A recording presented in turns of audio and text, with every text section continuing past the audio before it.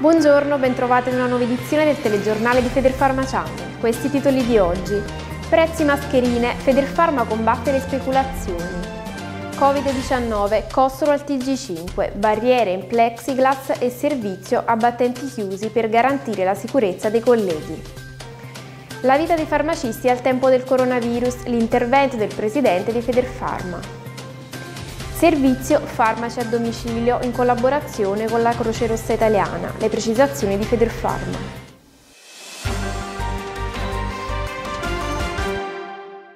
Federfarma ribadisce la volontà di combattere con ogni mezzo gli episodi di speculazione che si stanno verificando sul prezzo delle mascherine. È già intervenuta chiedendo alle proprie organizzazioni territoriali di segnalare eventuali abusi per potersi costituire parte civile nei processi, nonché di compiere i dovuti accertamenti per le successive segnalazioni alle competenti autorità.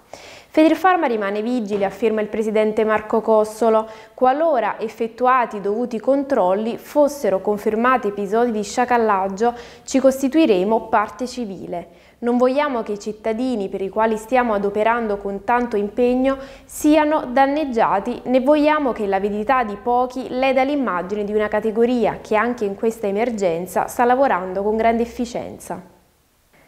Federfarma continua a lavorare per tenere i colleghi più al sicuro possibile dal contagio da Covid-19. Il presidente Marco Cossolo è intervenuto sul tema nell'edizione delle 13 del TG5 di ieri. Il problema della messa in sicurezza degli operatori in farmacia è concreta perché mancano le mascherine. Nel frattempo abbiamo invitato i colleghi a predisporre sul banco delle barriere in plexiglass. Inoltre abbiamo chiesto all'autorità di poter fare il servizio a battenti chiusi su base volontaria, previa autorizzazione delle autorità competenti laddove non si possano garantire le condizioni di legge. Vediamo il suo intervento. Questo è un problema concreto perché mancano le mascherine. Abbiamo invitato i colleghi a predisporre sul banco delle barriere in plexiglass per ovviare alle, alle mancanze di condizioni di sicurezza.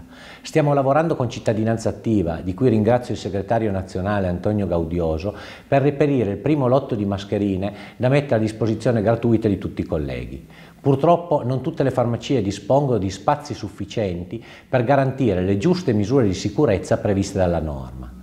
Abbiamo chiesto alle autorità di poter fare il servizio a battenti chiusi, ovviamente su base volontaria, previa autorizzazione delle, compet delle, autorità competenti, laddove non si possano garantire le condizioni previste dalla legge.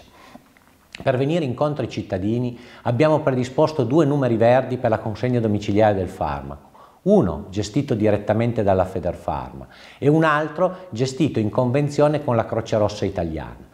Le domande sono moltissime ed è giusto che i cittadini cerchino di eh, muoversi il meno possibile. Noi con questo grande sforzo organizzativo cerchiamo di venire loro incontro perché si muovano da casa il meno possibile. La trincea delle farmacie italiane è così che il presidente di Federfarma Marco Cossolo definisce la battaglia giornaliera dei farmacisti contro eventuali contagi nello svolgimento del proprio lavoro al banco. Ospite di Coffee Break sulla 7, Cossolo ha ringraziato tutti i colleghi che stanno facendo un lavoro eccezionale. Due sono stati i problemi che abbiamo affrontato.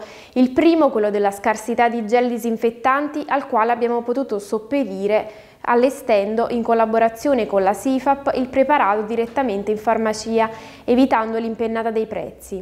Poi quello della mancanza delle mascherine che abbiamo cercato di aggirare allestendo ai banchi degli schermi di plexiglass. Per evitare usi impropri dei servizi per la consegna dei farmaci a domicilio, Federfarma ha predisposto una locandina per diffondere il numero verde per il servizio gratuito di consegna dei farmaci, attivato da Croce Rossa Italiana e Federfarma per le persone over 65, soggetti con sintomatologia da infezione respiratoria e febbre, persone non autosufficienti sottoposte alla misura della quarantena o risultati positivi al Covid-19, attivo 24 ore su 24, 7 giorni su 7. Il servizio invece è gestito solamente da Federfarma, è attivo dal lunedì al venerdì dalle 9 alle 18 ed è rivolto a persone che non sono in grado di recarsi in farmacia perché affette da disabilità o patologie gravi e non hanno nessuno che possa andare in farmacia per loro. Questa era la nostra ultima notizia, grazie per averci seguito, il telegiornale di Federfarma Channel torna la prossima settimana. Buona giornata!